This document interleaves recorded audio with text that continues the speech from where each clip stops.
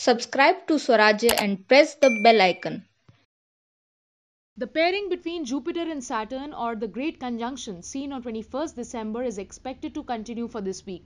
Conjunction is a pairing between two planets and since Jupiter and Saturn are the two biggest planets visible to the naked eye, their conjunction has been termed as the Great Conjunction.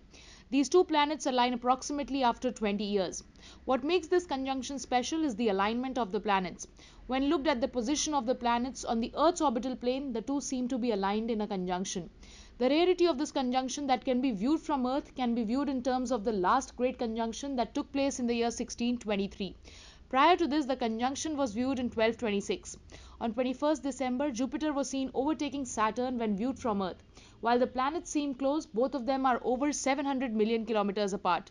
The next two conjunctions are set to take place in 2040 and 2060, but viewing them will not be as easy as it is now. The next this big conjuncture is likely to take place on 15th March 2080.